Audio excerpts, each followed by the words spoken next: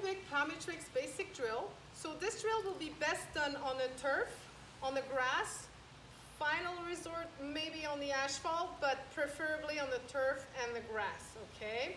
Or on the court, on basketball court.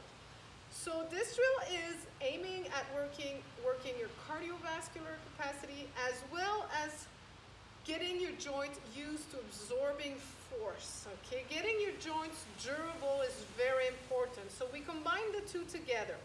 Aerobic plyometrics is different than pure plyometrics.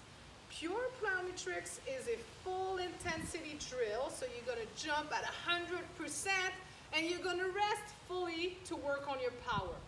Whenever we're doing aerobic plyometrics, we're jumping at 70% intensity only, and we're gonna rest for 30 seconds today in that case.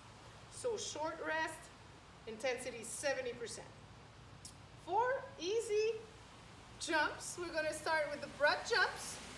So just 70%, uh, not too much, not too far. We're gonna go working on the rebound and the rhythm of the drill. So do So you would go on and off the ground, arms here, arms up.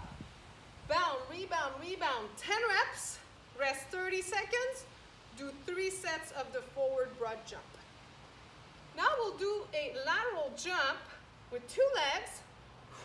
And I don't need to jump far, I just need to work on rhythm on and off the ground. So you do 10 reps, rest 30 seconds, three sets facing this way, and three sets facing the other way. Okay? Drill number four is backwards.